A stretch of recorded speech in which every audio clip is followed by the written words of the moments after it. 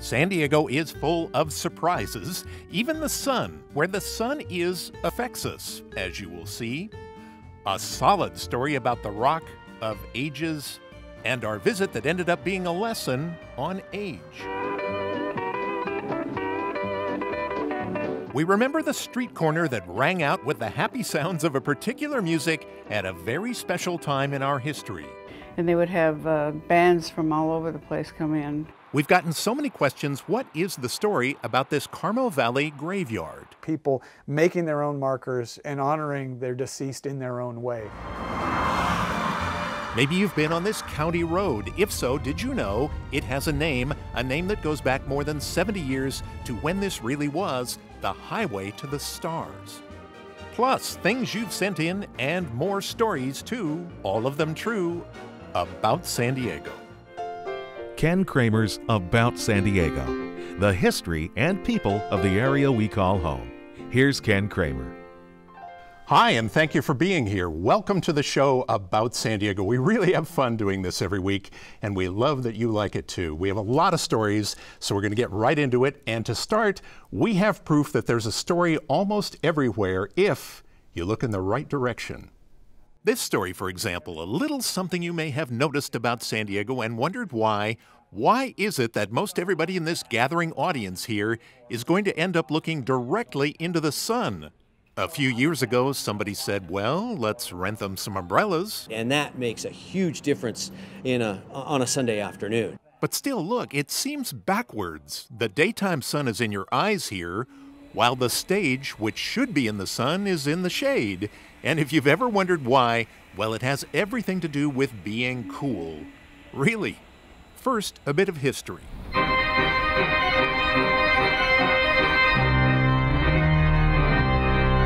This is the Spreckels Organ Pavilion, of course, where there have been free concerts every Sunday for a very long time now.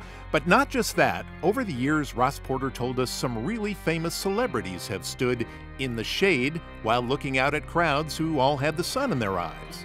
Yes, uh, Albert Einstein comes to mind. Uh, Herbert Hoover spoke on this stage in 1935. Aimee Semple McPherson, the great evangelist, uh, did uh, revivals here. I wonder if they thought things ought to be turned around here. You know, if you're watching the show, the sun should be at your back and shining on the stage, right? But the fact that the that the organ is is north facing means that the stage and the console and the pipes are well protected, uh, and the audience is the ones who get to look into the sunshine. Ross Porter is executive director of the Spreckels Organ Society, so we went to him about this because it seems so strange. The building was backwards. And it turns out it's one of those cool little things done intentionally. If the hot San Diego sun were allowed to beat right down on this organ and the pipes, wouldn't be good. Not at all. The, the difference in, in temperatures from the front of the organ to the back of the organ would throw it out of tune much more easily. It was an engineering consideration from day one. How do we protect an outdoor organ from the elements? Well, in San Diego, you build it facing north. So, so the audience gets to look into the sunshine, but the pipes are well shaded. And we thought that was a cool story about San Diego. There's one more thing I'll add to this whole sun in your eyes thing. It's worth it. If you have never been to the Spreckels Organ concerts in Balboa Park, they are so well programmed and such a civic treat every Sunday at 2 o'clock. That was Jared Jacobsen you saw there performing, who once was our civic organist but who came back for a show on that particular day. These concerts are completely free of charge, by the way, and always have been. Okay, change of location now. We're going to Carmel Valley, and every once in a while I'll get an email or a question about something you see there. It used to be much more visible before the freeway was built, and it's always seemed to generate this curiosity. How did it get there? What's the story? Well, let's take a look. Highway 56 on the north side, maybe a mile and a half before you get to I 5. Over the fence from the westbound lanes, here is something a lot of people wonder about. Under the spreading pepper trees, it looks like a graveyard, one that must have been here for a long, long time. It's a great story, and it has to do with the Sisters of Mercy, um, who are part of the, the Roman Church, and they are dedicated especially toward helping um, the ill, the uneducated, and the impoverished. We went to Seth Mallios, professor of anthropology at San Diego State and our graveyard guy. He's written about little known burial spots and he researched this tiny cemetery. He says in the 1890s, long before the 56 freeway came, on the open acres of land that used to be around here, those Sisters of Mercy had an orphanage. They, they also had cattle. Um, they started a dairy. Uh, they had hired a, a, Chinese man to run their garden for them. And starting about 1900, there were burials here, just a few graves. And we wondered, was it the sisters when they died? Well, this is where it gets fascinating because the cemetery wasn't just for the Sisters of Mercy. Many of the people buried on the Roman Catholic side were Mexican laborers that were working up near Solana Beach. Yes, that's another thing. It turns out there are two sides to this cemetery. The Catholic side is on the west, and about a 100 yards to the east is where the Protestants were buried. Their rock headstones clearly surviving the decades. By the way, together, Catholics and Protestants, records show 83 burials, the last one in the 1960s. And there are only 55 gravestones there. So some of the burials, some of the markers have been lost over time. On the west side, especially, time has taken its toll on the simple markers. A brush fire in the 1930s burned most anything that was wood, so other sticks and crosses took their place. Now you often see no name at all on these humble graves. To Seth Mallios, that's part of what makes this simple place under the trees by the 56 freeway so interesting and, in its own way, so elegant. This was not Mount Hope. This was not Greenwood. You know, this was not Holy Cross. This was something where you had working class people who were making their own grave markers, you know, really getting into that folk culture, people making their own markers and honoring their deceased in their own way. So, if you've ever wondered, that is the story. This little graveyard may seem at odds with the freeway so close. Here's to those who, even today, as a work of mercy, stop by from time to time to honor and maintain it a bit. And here's hoping the passing of time and traffic are merciful also to this place so filled with history about San Diego.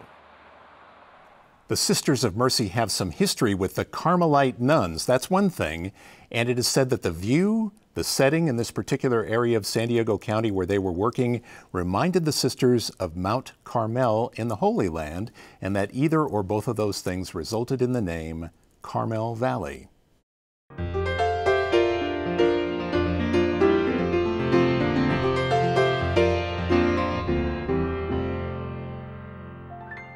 There was a time in San Diego when, if you were looking for fun, let's say on a Saturday night, and you were in the Navy stationed here, well, you might get in the car and head for one particular place. And I will say it helped if you like to dance and you had a taste for a kind of music that you could hear on the radio in Central California and parts of Texas and a lot of areas of the Southwest.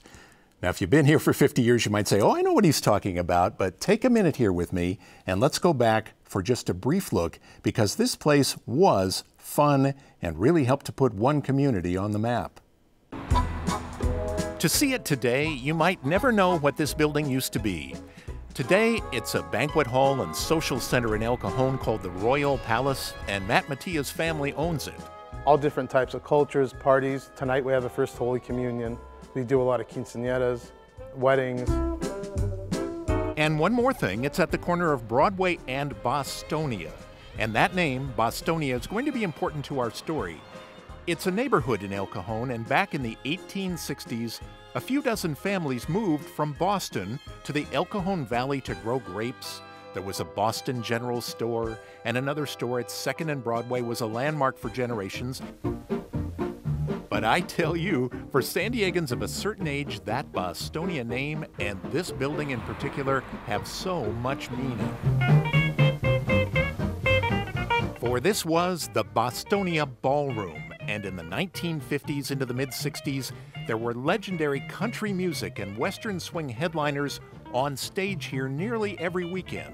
Performers like Patsy Cline, Dolly Parton, Johnny Cash have played, and some of them have even stayed here. If Tiny Bostonia was like the Nashville of Southern California, then the Bostonia Ballroom was the Grand Ole Opry when they opened up on Friday and Saturday night, all the sailors would come into town. This is Andrea Long. She still lives in El Cajon. still keeps pictures and the meticulous business records her dad maintained back then. This is Johnny Cash. Bostonia Ballroom was the brainchild of her dad, a fiddle player known as Cactus Soldi, Larry DePaul, who played the accordion, and country singer Smokey Rogers. It was a family. My mother sold tickets, and uh, my dad took care of the, the money end of it. And Smokey was, you know, Smokey was the star. You know, when when it came time to perform. Since you're gone, the stars, the moon, the sun in the sky. Smokey Rogers was a singer, sweet songwriter, and San Diego TV kid show host who was co owner of the Bostonia. Through those curtains there, there, there's a door that leads to a second level. Up here, this used to be an apartment where Smokey's mom and dad lived, and from where a very young Andrea could hear all this amazing music. To get there, she had to go through the dressing room. I come through there and say, everybody decent? Smokey says, come on in. and I walked in and I saw Marty Robbins with one foot in his pants. He was, he was changing into his, his costume. You know. there were singers like Marty Robbins, but also Western swing, the dance tunes of the rural Southwest, a cowboy's version of the big bands. The music was so infectious and so fun, and it was popular enough that you could find it on television. There was Tex Williams. His hit song was Smoke, Smoke, Smoke That Cigarette. Smoke, smoke, smoke that cigarette. Puff, puff, puff, and if you smoke yourself to death, tell St. Peter at the Golden Gate, you hates to make him wait. You've got to have another cigarette. And Bob Wills, the king of Western swing. Stay all night, stay a little longer, dance all night, dance a little longer, pull off your coat, throw it in the corner, don't say why you don't stay a little longer. So there they'd be in a film or on TV one week and come to the Bostonia the next. It was a great time, but everything has its life. All things come to an end. Maybe music tastes were changing, or the stars of country and western swing were playing bigger venues for more money. My dad and Smokey decided to part ways. They, they'd been partners and, and playing music together since 1935. And, uh, I, you know, it was a, a time to break it up after a while. Eventually, the Bostonia closed. Go through all these special things and, and you don't realize how special it is until much later. And looking back to the joyous music ringing from that street corner in El Cajon every weekend, I don't know if there'll ever be anything quite like it again.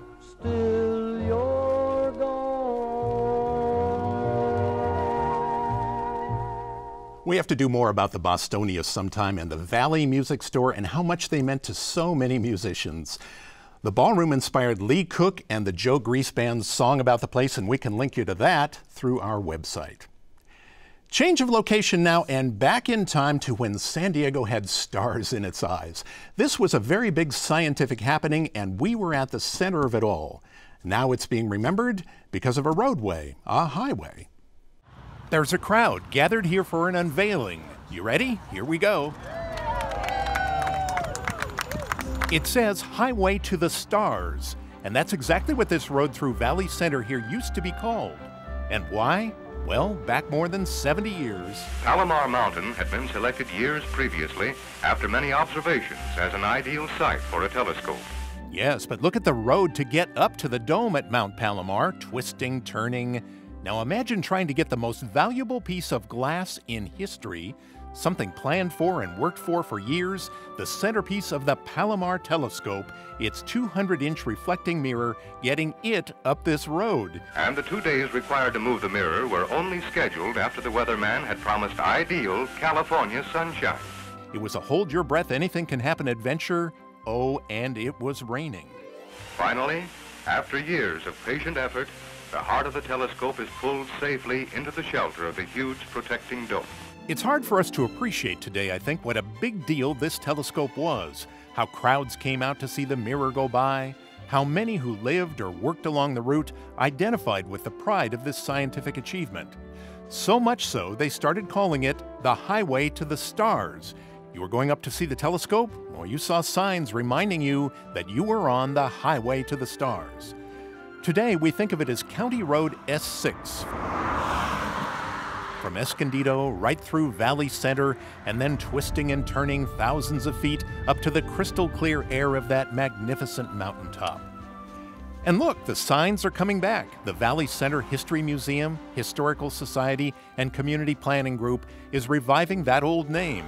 They've placed new signs along the route. It's a nod to history, a celebration of scientific triumph, and a renewed tribute to something internationally famous about San Diego. The Valley Center Historical Society has extensive files on the highway and the telescope, and it's available to be seen by the public anytime. The telescope has been described as one of the most consequential scientific instruments of the past 100 years. And if you head up there to see it, you'll find it's all very quiet, and you wonder, you know, it started work in 1948. Do they still use it? And the answer is yes, they do. They're doing science up there every clear night. Here's a question about San Diego. What classic science fiction movie from 1953 includes a scene shot at Palomar Observatory? Was it Abbott and Costello Go to Mars, Invaders from Mars, or It Came from Outer Space? And the answer is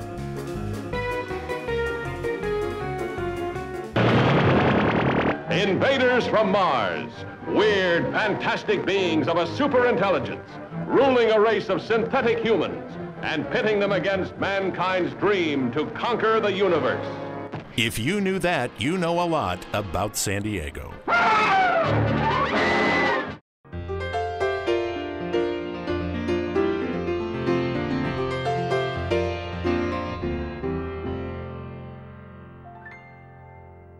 Okay, a few months ago, I was talking with some friends and they said, you know, there is this house in Lakeside that has a story to it. It was built by one man who carried blocks of rock home with him every day until he had enough to build a house for himself, his wife, and their growing family in the 1930s. It's a unique place, big, maybe, you know, the, the rock, rocks are like a foot thick, recognized by the Historical Society there. And I thought, well, that, that's kind of interesting. Let's go take a look. And along the way, we met the owner who we liked, and we thought you might too. We've come to call on Edna Coons today, see if she might have a word or two for us. You uh, do you want to come in? And I had to say, Edna, I don't know anybody who lives in a house like this. I, I tell you the truth, I don't either.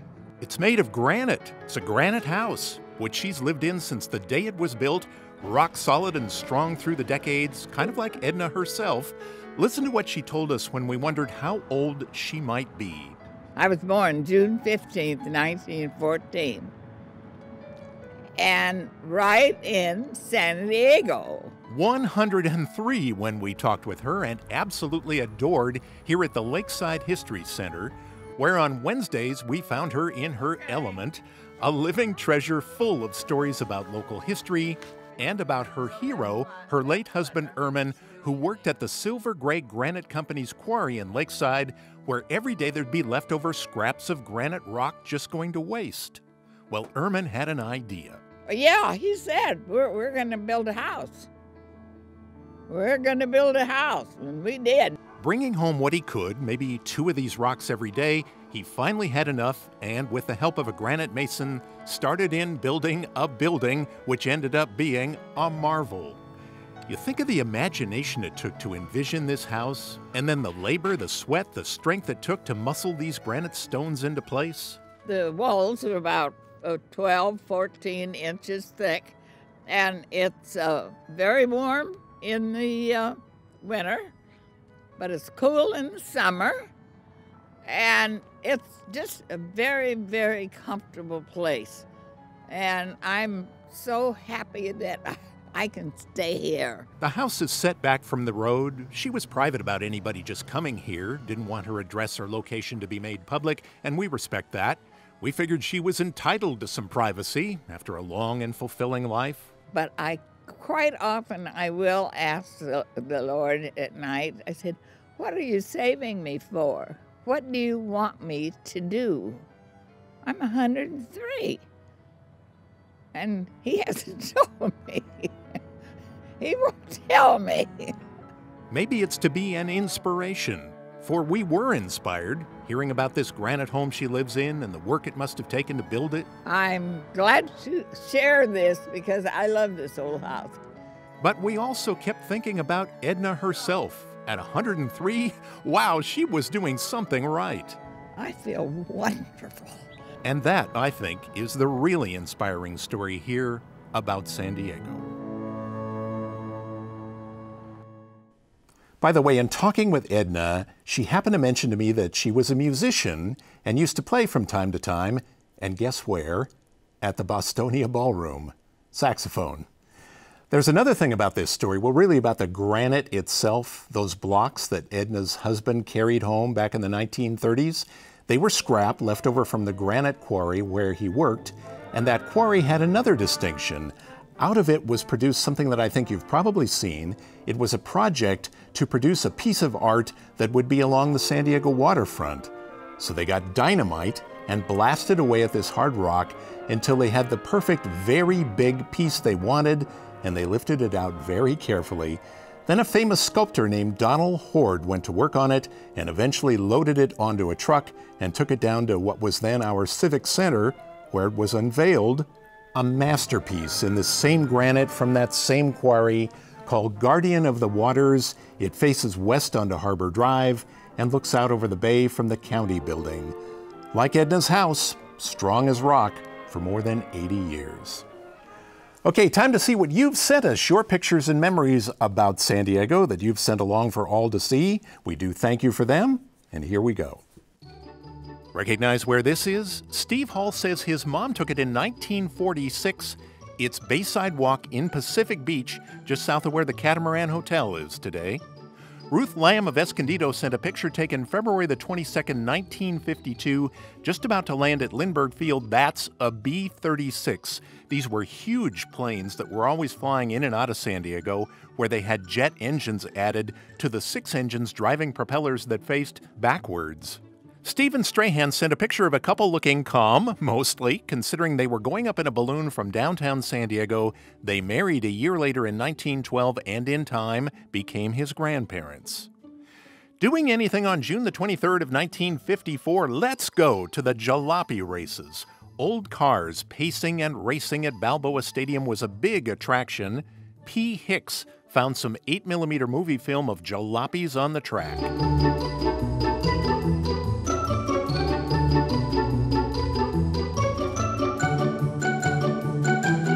For Gene Ray, who sent these pictures, jalopy racing was a family affair. His father in law was Adrian Van Vanderwist, who was pretty well known in racing circles, or ovals. At Balboa Stadium, most of which was later torn down out of earthquake concerns, it's now the site of the track for San Diego High School. We want to update you on a couple of stories. Thank you to Michael Redding. You might remember we suggested that there ought to be an award for longtime service to community and how that award ought to be given to a good old wooden streetcar number 54 which well over a century ago used to run back and forth, back and forth between San Diego and La Jolla with its friendly crew. Well, I think they were friendly. Anyway, we wondered if Car 54 had become a meal for termites or busted up for kindling, but no. Turns out it was passed from owner to owner. Story is, for a time, it was used as a hot dog stand, was at the Whaley House for a while, and eventually ended up in storage for safekeeping at the San Diego History Center, but it's since moved again, and Car 54, where are you? In a protected covered space of honor where everybody can see it at the San Diego Electric Railway Association's National City Depot. Drop by and pay your respects. And Jim Reeves wrote us back when they were working on the Georgia Street Bridge. Remember, he said, Go and check this out. So we did, and look, can you see what workers uncovered beneath the pavement there? Those parallel lines are old streetcar tracks dating back 70 or more years to when San Diego had streetcars that linked our communities and connected our neighborhoods together. They just paved right over them, and for a few days, you could see them again before they were torn out as scrap metal. Here's a close up picture that Jim took of the rails that used to take San Diegans where we needed to go. And finally, the picture Glenn Sheets sent us of Johnny Downs selling Golden Arrow milk on TV was sure to bring back memories of the days of home milk delivery. Today, milk comes to the customer, whether at home, store, or restaurant, at the peak of its triple goodness fresh, pure, and energizing, enriched by added vitamins. Kim Mills sent us this one says, Here's my grandfather and his Klingman's Few Acres dairy truck back in 1948.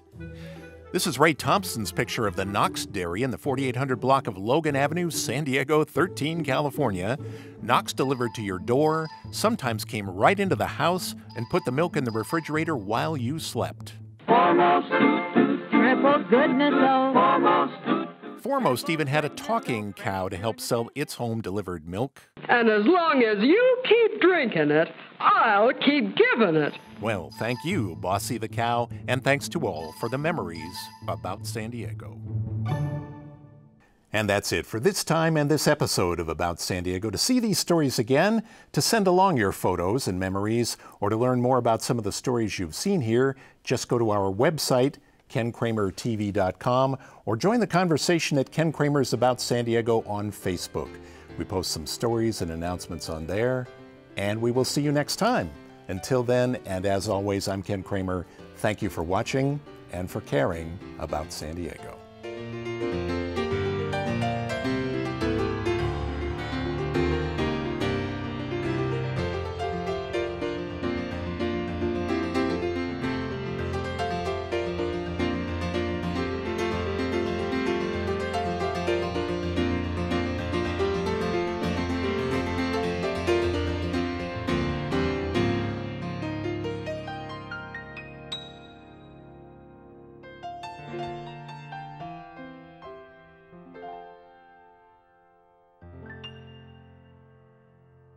Support for this program comes from the KPBS Explore Local Content Fund, supporting new ideas and programs for San Diego.